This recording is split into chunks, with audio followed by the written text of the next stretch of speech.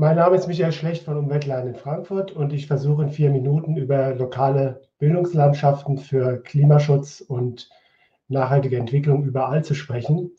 Umweltlernen in Frankfurt ist, äh, Moment, ich muss das.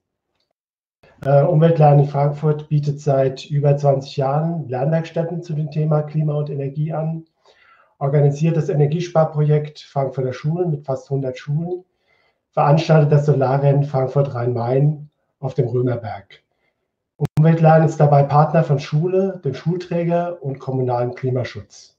Umweltlernen hilft so, Klimawissen erfolgreich in die Schule zu bringen. Aber reichen unsere Klimabildungsaktivitäten, die glaube ich schon einigermaßen vorbildlich sind, aus, um die epochalen Herausforderungen des Klimawandels zu meistern? Ich habe da mal Zweifel. Was auf, der, auf jeden Fall fehlt, ist ein klarer gesellschaftlicher Auftrag von Seiten der Kultusbehörden.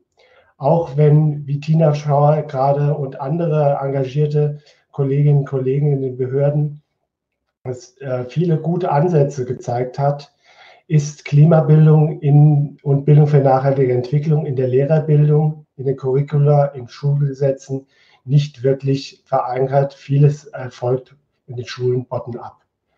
Aber selbst wenn dies 30 Jahre nach dem Erdgipfel in, äh, in Rio endlich umgesetzt wäre, ist die Frage, ob Schule allein Klimabildung vermitteln könnte, um einen wirksamen Beitrag zur Erreichung des 1,5 Grad Ziels zu leisten. Ähm, stellt euch vor, Schulen würden mehr kooperieren mit Nachhaltigkeitsinitiativen und Umweltzentren mit Unternehmen und kommunalem Klimaschutz, mit Wissenschaft und Stadtteilinitiativen.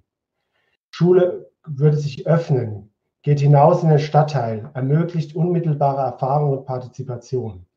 Und für den Partner von Bildungseinrichtungen wäre es selbstverständlich, in die Schule, die Kita oder die Volkshochschule zu gehen.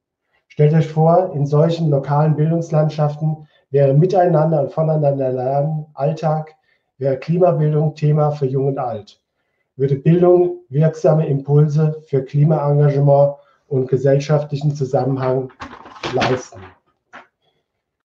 Sie sagen, ihr sagt jetzt vielleicht,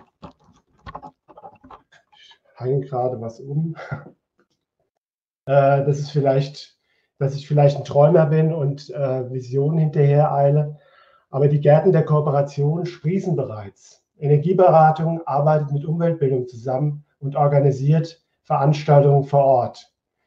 Schulen schließen auf dem Weg zur Klimaneutralität Bündnisse mit dem kommunalen Klimaschutz. Initiativen erobern öffentlichen Raum und machen daraus ein Reallabor für nachhaltige Stadtentwicklung. Und Schüler verlassen die Schule, manchmal freitags, und engagieren sich für den Klimaschutz und vieles mehr. Noch befinden sich diese Gärten der Kooperation noch in Nischen. Sie sind als lebendige Bildungslandschaften für nachhaltige Entwicklung noch nicht in der Breite präsent. Es bedarf der Allianz von Zivilgesellschaft, Schule, Wissenschaft und Staat, um solche zukunftsfähigen Bildungslandschaften zu schaffen. Eine Allianz kann gelingen, wenn Schule die außerschulischen Partner ernst nimmt.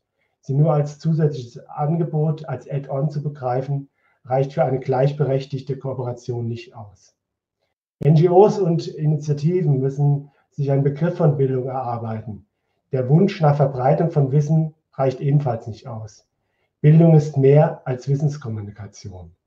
Und schließlich, wir alle gemeinsam müssen den Stellenwert von Klimabildung in den Bildungslandschaften selbstbewusst einfordern. Selbstbewusstsein, Ernsthaftigkeit und Engagement. Das ist es, was wir von den jungen Menschen lernen können. Das war's. Danke. Vielen Dank, Herr Schlecht, für diesen Appell. Es war sehr, sehr überzeugend.